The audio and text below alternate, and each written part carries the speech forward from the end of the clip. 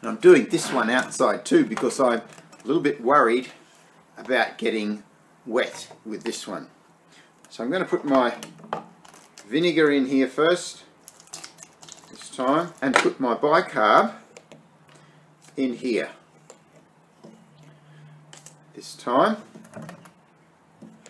And what I'm going to do is when I've put it in I'm going to stop up with that plasticine that I had before and it's still got that hole which had the tube in it. So hopefully I'm going to get the pressure to build up and go through that hole. Let's see how I go. I'm going to have to put it on pretty quick.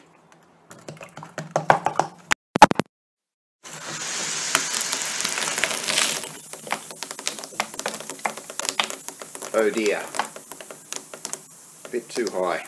Oh well.